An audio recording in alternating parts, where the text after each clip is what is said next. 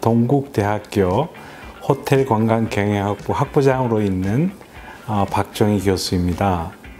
어, 호텔관광경영학부는 어, 관광과 관련된 다양한 어, 산업에서 요구하는 유능한 인력을 어, 양성하고 13명의 교수가 각 전공 분야에 따라서 어, 다양한 분야, 관광 레저, 이벤트 산업, 호텔, 리조트, 컨벤션, 외식 분야를 담당하고 있습니다.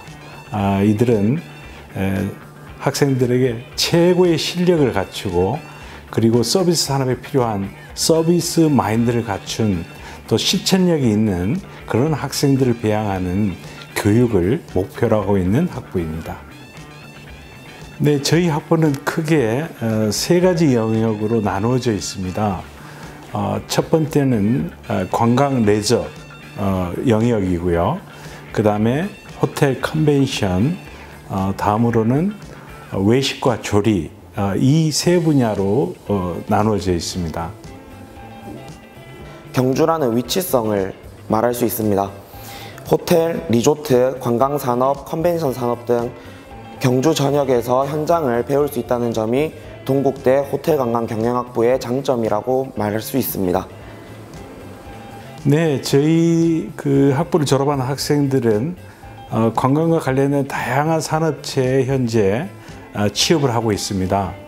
어, 호텔, 여행사, 어, 항공사, 그 다음 국제회의, 또 이벤트 관련해서요. 그리고 테마파크, 리조트, 카지노, 크루즈 등의 이런 다양한 분야에 진출하고 있고요. 최근에는 많은 학생들이 실제로 레스토랑 창업이라든지 어, 외식기업 관리, 또 외식기업 경영 컨설턴트, 어, 식공간 디자인, 푸드 테이블 코디네이터 등 이렇게 다양한 분야에 지금 학생들이 어, 진로로 진출을 하고 있습니다.